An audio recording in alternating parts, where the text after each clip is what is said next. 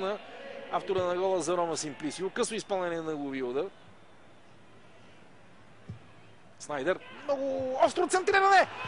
4 на 1 за Интер. Тяго Мота.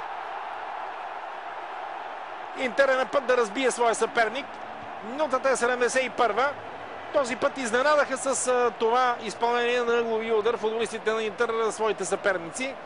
И ето, че Тиаго Мота отблизо прави резултата 4 на 1.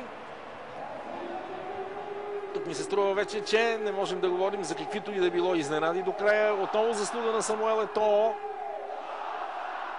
Който добре е смъкна тази топка с глава и падайки тук пред вратаря Жулио Серджо. Тиаго Мота е мушна в мрежата.